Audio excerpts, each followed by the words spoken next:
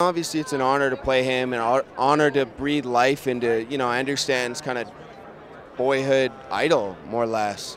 And no one's going to put more pressure on it than myself to kind of breathe life into him. And uh, there is the action, there's the stunts, but at the end of the day, it really is a character-driven story. And um, that was kind of first and foremost.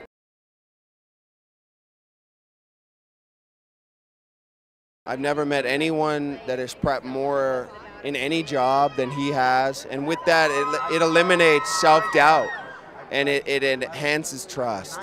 And uh, with him, I'd, I'd, I'd go to war with him any day of the week, truly.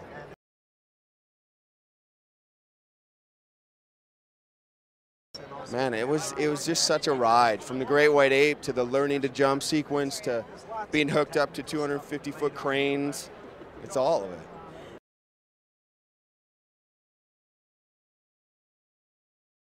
I'm pumped. I haven't seen it 3D, and uh, last I heard, this this showing's going to be 3D, so I can't wait.